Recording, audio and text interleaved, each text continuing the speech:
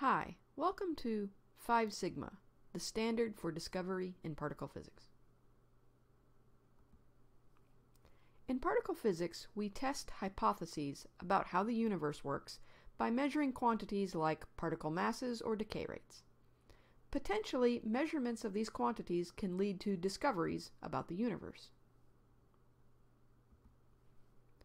For example, as yet unknown physical processes may cause some particle to decay more rapidly or in different ways than what is currently predicted by the standard model of particle physics. And sometimes new particles are discovered. If you hear about results in particle physics, or in other fields, you might hear the result described in terms of some number of sigma, or you might hear that some observation has, or has not, reached the 5 sigma threshold for discovery. In this video, we'll talk about what these terms mean. We'll discuss the criteria particle physicists use to conclude whether or not the result of a measurement should be called a discovery. In order to do this, it will help if we talk a bit about the idea of Gaussian error bars. We will try to review the most important points here, but if you'd like more background information, there are a few other relevant videos on this channel that you might be interested in. This video will be a bit easier to understand if you're somewhat familiar with the Gaussian or normal distribution. Especially useful would be the videos Features of the Gaussian or Normal Distribution, Parts 1 and 2. You can find these and other possibly helpful videos in the Gaussian Statistics playlist. The ideas in this video will also be easier to understand if you also watch the videos in the playlist mini course on error bars, measurements, and decision analysis. You may wish to watch those videos before proceeding here, or you might want to use this video as a jumping off point that gives some scientific contexts for those other videos. Okay, let's get started. First, let's review what a Gaussian distribution is. So, a Gaussian distribution, also called a normal distribution, is described mathematically by the formula shown here. It is a function of x and describes a bell-shaped peak. It contains two parameters, mu and sigma. The peak is centered at mu, and sigma controls the width of the peak. For example, here we plot two Gaussians with mu equal to 0. Note that both are centered at x equals 0. The narrow one in red has sigma equal to 1, and the wider one has sigma equal to 2. That's shown in light blue. Now, let's say we measure some quantity x. x is some observable, like the mass of a particle, the distance to a quasar, or the wavelength of some radiation. We'll call the true value of x, x true. You measure x and obtain your measured value, x measured. But measurements have uncertainties. So when you perform your measurement, you probably will not obtain the result x measured equals x true. Let's imagine that your measurement errors are Gaussian distributed.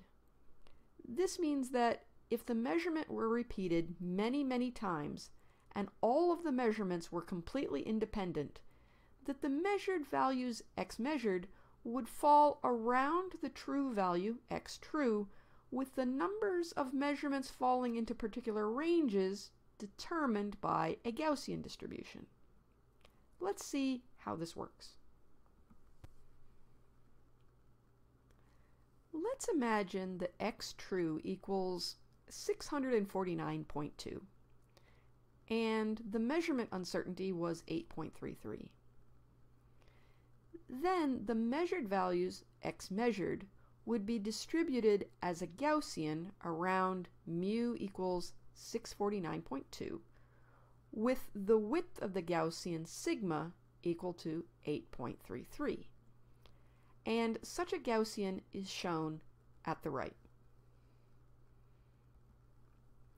Now first, let's mention a couple of quick points. While we've plotted this function for values of x measured between 600 and 700, the function actually extends from minus infinity to plus infinity. And the area under the Gaussian curve and above the x-axis is equal to 1. To find the probability that a particular measurement gives a value for x measured between two given values, we look at the area under the curve between those values. For example, the probability for a certain measurement to return a value of x measured between 640 and 650 is equal to the area under the curve between x measured equals 640 and x measured equals 650. Here we show that area in blue. So here the measurement uncertainty was 8.33.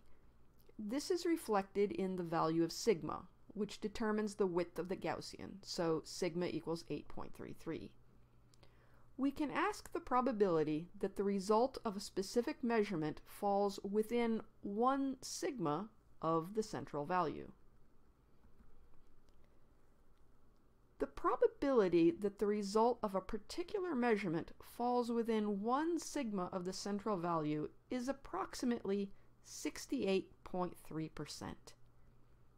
In this case, that means that the probability that x measured falls within the range 649.2 minus 8.33 and 649.2 plus 8.33 is approximately 68.3%.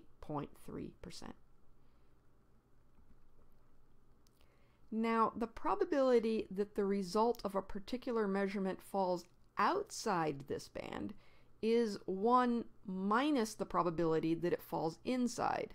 So 1 minus 68.3%, which is about 31.7%.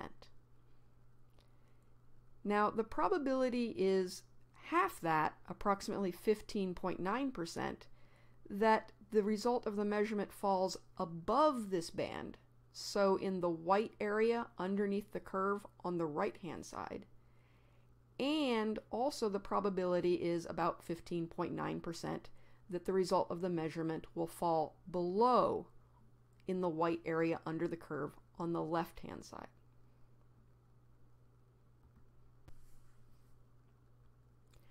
Similarly, the probability that a particular value of x measured falls within 2 sigma of the central value is approximately 95.4%. The probability it falls outside this band is approximately 4.6%. So 2.3% that it falls above the blue band and 2.3% that it falls below the blue band. And the probability that a particular value of x measured falls within 3 sigma of the central value is approximately 99.7%. Okay, now consider the probability of a given measurement returning a value of x measured further away from the central value than 5 sigma. In this example, this means that x measured falls either above 690.9 or below 607.6.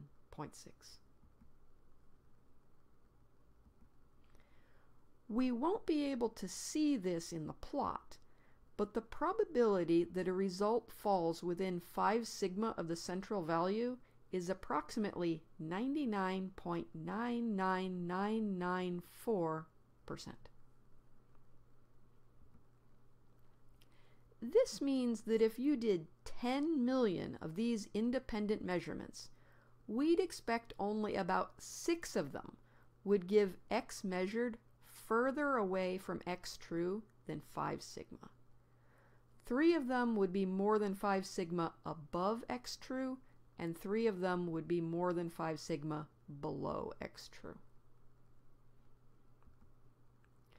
Put another way, only about one out of every three and a half million measurements would fall more than 5 sigma above x true, and only about one out of every three and a half million measurements would fall more than 5 sigma below x true. So the probability that a specific measurement returns a value more than 5 sigma above or below x true is 1 over 3.5 million, which is approximately 3 times 10 to the minus 7. So we see that obtaining a measured value x measured more than 5 sigma away from x true, while possible, is quite rare. Now we're ready to talk about what is meant by a 5 sigma discovery or observation. Let's say we have two models to explain some physical phenomena. We'll call them Model 0 and Model 1. Model 0 has passed a wide array of experimental tests and has proven to be a good working hypothesis for explaining a wide range of observations. It's our default hypothesis when making predictions about the universe. Model 1, on the other hand, is more speculative. It might be more complicated than Model 0, or it might simply be newer. But if we concluded that Model 1 is correct, that would be a significant scientific advance. Now we do an experiment to test these models. We get some experimental results. We will call the hypothesis that our experimental result follows from model 0 hypothesis 0.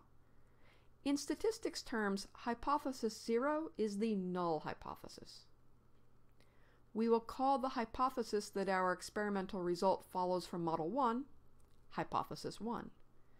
In statistics terms, it is the alternative hypothesis. Let's look at a quick example of hypotheses 0 and 1. For example, physicists could be searching for a new particle that has specific characteristics. Let's say that this particle does not exist in the standard model of particle physics, but is thought to exist in a more speculative model. If this new particle exists, they know how it would be produced in particle accelerators. So they do an experiment in which this particle could be produced. However, in this experiment, there are also lots of other particles, which are already known in the standard model, produced at the same time. They must determine whether what they see in their data results from only production of standard model particles, that would be hypothesis 0, or also from particles predicted by the more speculative model, that would be hypothesis 1. Okay, now that we've seen an example, let's get back to the more general case. Now, both hypothesis 0 and hypothesis 1 predict some value for x true. Let's call hypothesis 0's prediction x0 and hypothesis 1's prediction x1. We do a measurement and obtain a value x measured. We'll assume our measurement errors are Gaussian distributed with a measurement uncertainty sigma. Let's say that our measured value, x measured, is at least 5 sigma away from x0 and is compatible with x1, say within 1 sigma or maybe 2 sigma. For concreteness, let's say x measured is 5 sigma above x0 and also it's near x1. We said that if hypothesis 0 is true, the probability of observing x measured at least 5 sigma above x0 is 3 times 10 to the minus 7. In statistics terms, this means that a measured value of x measured, 5 sigma above x0, has a p-value of 3 times 10 to the minus 7. This is a situation in which many physicists would consider the term discovery appropriate. Alternatively, people might say that the result disagrees with hypothesis 0 at the 5 sigma level, or that a discrepancy compatible with hypothesis 1 has been observed at 5 sigma. Okay, so let's look at our previous plot. Let's take x0 to be 649.2 and sigma equal to 8.33. So the 5 sigma band extends up to 690.9. If x measured is found to be 691.2, this disagrees with hypothesis 0 at 5 sigma. Let's also say that x1 is equal to 695.3. Then this is a 5 sigma result compatible with hypothesis 1. Now, it's important to note that the 5 sigma criterion doesn't actually make any mathematical statement about how likely hypothesis 1 or hypothesis 0 is to be true. It is only a statement that if hypothesis 0 is correct, the obtained measured value, x measured, was very, very unlikely. Or put another way, while it doesn't say that hypothesis 1 is correct, it does say that if hypothesis 0 is correct, the experimental result was very, very weird. We could also have an instance in which the measured value, x measured, falls at least 5 sigma away from x0, but is also incompatible with x1. In such a case, although the measured result is hard to reconcile with hypothesis 0, physicists would probably be uncomfortable using the term discovery, as it wouldn't be clear what exactly had been discovered. Many would probably argue that more work was needed to ensure there were no problems with the measurement. On a side note, we could imagine a scenario where x measured differed from x0 by at least 3 sigma, but was compatible with hypothesis 1. While this wouldn't qualify as a discovery, some people would consider it evidence for hypothesis 1.